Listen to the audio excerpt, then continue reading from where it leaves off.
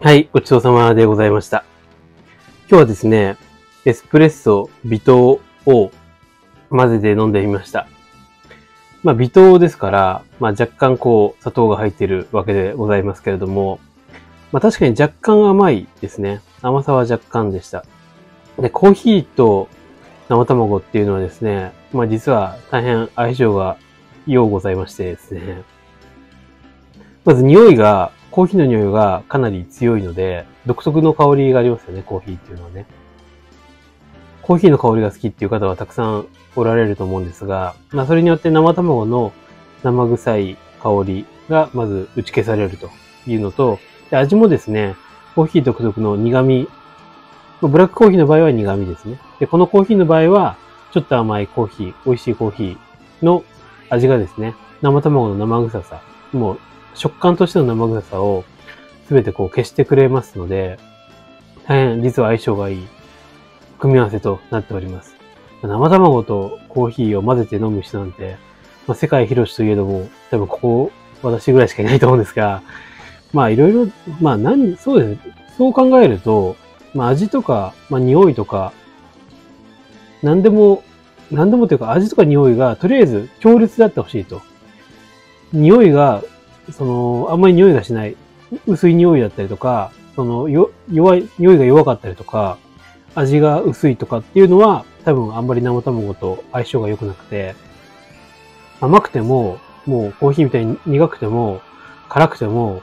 まあしょ、しょっぱいのはどうかなと思いますけど、もうとりあえず、こう、強烈な味であってほしいと。で、香りも、どんな香りでもあって、香りでもいいから、強烈な香りであってくれと。いうことを私は願うばかりですね。まあそういったジュースであれば、生卵と相性が良く。か今日ですね、僕9時間も寝てしまったんですね。で僕は、まあ、コンプレックスの塊というか、まあコンプレックスは山のようにあるんですが、私のコンプレックスの数多くあるコンプレックスのうちの一つが、睡眠時間が長いことなんですよね。で、睡眠時間、3時間とか4時間で済むショートスリーパーの方がすごい羨ましくて、僕は8時間9時間寝てしまうタイプなんですよ。でも世の中には4時間3時間でいい人もいるわけですよね。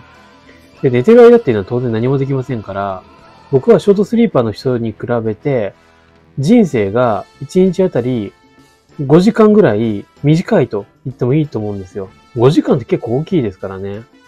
1日24時間ですから20%ぐらいですか。まあ20%弱ですね。ですから、僕はショートスリーパーの人に比べて、そのやっぱ20%ぐらいこう人生が短いので、やっぱりこう、それが切ないですね。切ないので、うーん。で、昨日かなりアルコールを飲んだんですね。そしたらやっぱ睡眠長くなりましたので、やっぱり水、お酒って、夜寝る前にですね、まあ、お酒だけで太ることはあんまりないんですよ。その、やっぱりおつまみで太るんですよね、僕の感覚では。で、おつまみと一緒にたくさん食べてたくさん飲むと睡眠時間は、やっぱり9時間にありますね。で、1日1食で、お酒とかなしで、ちゃんと夜、あの、10時とか9時とか、ちょっと早めに寝ると、僕の場合は睡眠時間8時間か、もううまくいけば7時間半で済むんですよ。でもまあ、無力感にね、囚われるわけにはいきませんから、まあ、毎日コツコツ、まあ、なんていうか、まあ、少しでも1時間でもね、人生を、あの、まあ、楽しみたいので、まあ、まあ、ショートスリーパーにはなれないんですよね。いろいろ、あの、やってみたんですが、なかなかショート睡眠時間っていうのは体質に依存するところが多いようなので、なかなかショートスリーパーにはなれないでしょうけど、まあ、それでもですね、まあ、これ以上伸ばさないように頑張っていこうと思います。はい。ということで、今日も最後まで見てくださってありがとうございました。また次の動画でお会いしましょう。さようなら。